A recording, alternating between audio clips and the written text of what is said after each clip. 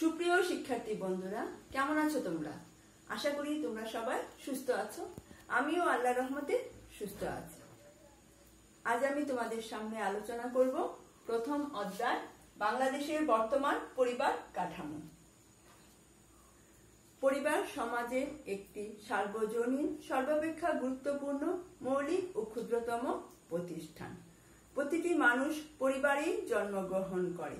মানুষ তার জৈবিক চাহিদা, প্রাতিষ্ঠানিক শিক্ষা, সামাজিক ও নৈতিক শিক্ষা এবং সকল চাহিদা পরিবার থেকে পূরণ করে থাকে। শহর, গ্রাম, পাহাড়, সমতলবাসী, ধর্ম ও অর্থনৈতিক অবস্থা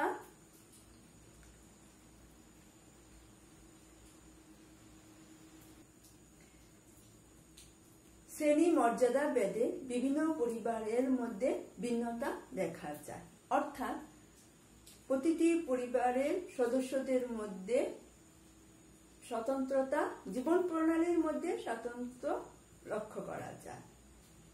পরিবারের সাথে মানুষের রয়েছে অকৃত্রিম বন্ধন। বাংলাদেশের সমাজ কাঠামো খুবই মজবুত। প্রিয় শিক্ষার্থী বন্ধুরা, আজকের আলোচ্য বিষয় সমাজ ও পরিবার। আজকের পাঠ শেষে আমরা সমাজ ও পরিবার সম্পর্কে ধারণা ব্যাখ্যা করতে পারব। তাহলে প্রথমে আমরা সমাজ সম্পর্কে জেনে নেই। প্রাচীন কাল থেকে মানুষ সমাজে বসবাস করে আসছে। সমাজ মূলত একটি সংগঠন বিশেষ। সমাজ গঠিত হয় ব্যক্তি ও গোষ্ঠীর সমন্বয়ে। মানুষের পারস্পরিক সম্পর্কের সমষ্টি হল সমাজ। পারস্পরিক সম্পর্কের ভিত্তিতে বসবাস করতে গিয়ে মানুষ যে আচরণ, যে সংগঠনের আচরণ বিধি মেনে চলে বা মেনে চলবে বলে একমত পোষণ করে, তখনই সমাজ গঠিত হয়। সমাজ প্রত্যয়টির অর্থ খুব ব্যাপক। সমাজের উৎপত্তি ও ক্রমবিকাশ ঘটেছে পারস্পরিক সহযোগিতার মাধ্যমে। মানুষের মানুষের পারস্পরিক মিথস্ক্রিয়ার মাধ্যমে সামাজিক সম্পর্কের সৃষ্টি হয়।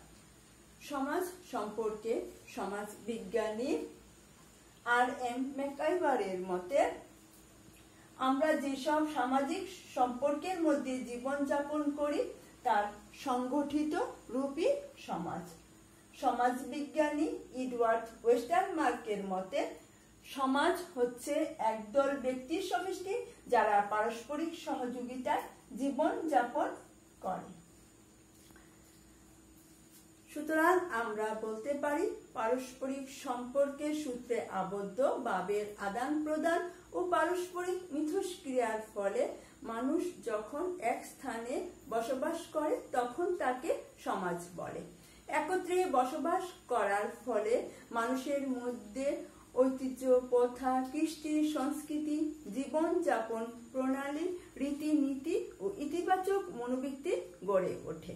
মানুষ বংশ পরম্পরা, এই সব রীতিনীতি, জীবনযাপন প্রণালী, সংস্কৃতি, কৃষ্টি লালন করে। শিক্ষার্থী বন্ধুরা, এবার আমরা জানব পরিবার সম্পর্কে। পরিবার হচ্ছে সমাজের মৌলিক ও ক্ষুদ্রতম সংগঠন। পরিবার একটি সর্বজনীন, স্থায়ী, সর্বাপেক্ষা গুরুত্বপূর্ণ সামাজিক প্রতিষ্ঠান। একে সমাজের চিরন্তন বিদ্যালয়ও বলা হয়। দাম্পত্য জীবনের আকর্ষণ, সন্তান জন্মদান, প্রতিপালন, আত্মরক্ষা, নিরাপত্তা, সঙ্গপ্রিয়তা ও সমাজবদ্ধ জীবনের সহজাত প্রভৃতি মানুষকে পরিবার গঠনে উৎসাহিত ও অনুপ্রাণিত করে। মানব সমাজ বিকাশের প্রক্রিয়ায় পরিবারকে বৃহত্তর সমাজের একটি অন্যতম প্রতিষ্ঠান হিসাবে গণ্য করা হয়। মানুষ জন্ম থেকে মৃত্যু পর্যন্ত জীবনের সকল পর্যায়ে পরিবারের উপর নির্ভরশীল। পরিবার সম্পর্কে সমাজ বিজ্ঞানী আর এম মেকাইবারের মতে, সন্তান সন্ততির জন্মদান ও লালন পালনের নিমিত্তে যৌন সম্পর্ক দ্বারা সংগঠিত ক্ষুদ্র বর্গই হচ্ছে পরিবার। সমাজবিজ্ঞানী এম এফ নিমকক তার ম্যারিজ অ্যান্ড দ্য ফ্যামিলি নামক গ্রন্থে বলেছেন, পরিবার হলো স্বামী স্ত্রী দ্বারা সৃষ্ট মোটামুটি স্থায়ী একটি সঙ্গ যেখানে সন্তান সন্ততি থাকতেও পারে আবার নাও থাকতে পারে। সুতরাং আমরা বলতে পারি,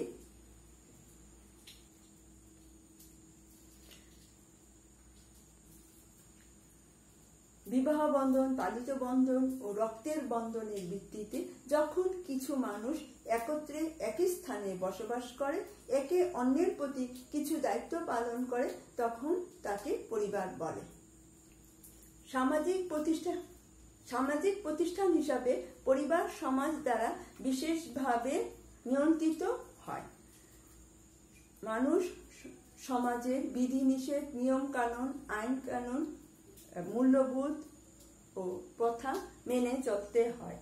ফলে সমাজে শান্তি শৃঙ্খলা বিরাজ করে। বাংলাদেশের পরিবারগুলোর দিকে তাকালে যে চিত্র ফুটে ওঠে তা হল বাংলাদেশের শহরাঞ্চলের পরিবারগুলো বেশিরভাগই অনুপরিবার। ঐতিহ্যগতভাবে গ্রাম অঞ্চলে যৌথ পরিবার লক্ষ্য করা যায়।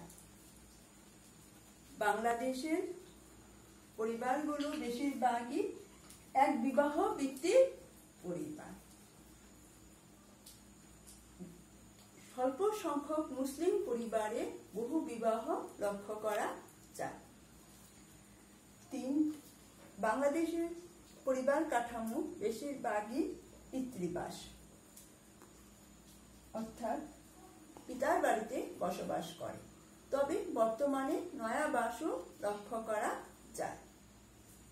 বাংলাদেশের পরিবারগুলো দ্বিসূত্রীয় নীতি অনুসরণ করে। অর্থাৎ পিতা, মাতা, উভয় পক্ষের আত্মীয় স্বজনকে সমান গুরুত্ব দেওয়া হয়। বাংলাদেশের পরিবার কাঠামো অত্যন্ত মজবুত। ঐতিহ্যগতভাবে পরিবারের সদস্যদের মধ্যে আবেগ, ভালোবাসার বন্ধন আত্মীয় স্বজনের সাথে বন্ধন অত্যন্ত মজবুত। সুপ্রিয় শিক্ষার্থী বন্ধুরা, আজ আমি তোমাদের সামনে সমাজ ও পরিবার সম্পর্কে আলোচনা আগামী ক্লাসে আমরা পরিবারের শ্রেণীবিভাগ নিয়ে আলোচনা করব। তোমরা অবশ্যই স্বাস্থ্যবিধি মেনে চলবে। আগামী ক্লাসে আবার দেখা হবে। আল্লাহ হাফেজ।